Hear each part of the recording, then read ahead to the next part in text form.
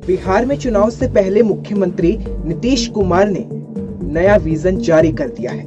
इससे पहले भी नीतीश कुमार ने 2015 में कुछ इसी तरह से विजन जारी किया था, लेकिन इस वक्त बिहार चुनाव को लेकर अब नीतीश कुमार ने विजन पार्ट टू जारी कर दिया है, यानी कि लॉन्च कर दिया है।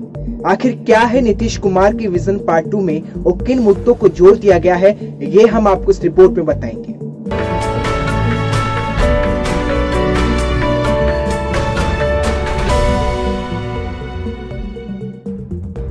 बिहार विधानसभा चुनाव से पहले मुख्यमंत्री नीतीश कुमार ने अपने महत्वाकांक्षी कार्यक्रम सात निश्चय पार्ट टू जारी किया है। 2015 के विधानसभा चुनाव से पहले नीतीश कुमार ने कुछ इसी तरह सात निश्चय पार्ट वन जारी किया था, जिसमें अगले पाँच साल के बिहार में जो विकास के कार्यक्रम चलाया जाएगा, उसका लेखा जोखा था। लेकिन अब एक बार फिर नीतीश कुमार ने निश्चय पार्ट टू में नीतीश कुमार ने सबसे पहले प्राथमिकता युवाओं को दी है, जिसके अंतर्गत पिछले पाँच साल में युवाओं के लिए किए जाने वाले कार्यक्रमों का लेखा जोखा जारी दिया गया इसके साथ ही अगर दूसरी बात करें तो महिलाओं को सशक्त बनाने पर भी नीतीश कुमार ने ज़ोर दिया है। नीतीश कुमार ने अपने विजन में कई परियोजनाओं का ज़िक्र करते हुए आने वाले समय में महिलाओं को सशक्त बनाने के लिए की जाने वाली योजनाओं का बखान किया है।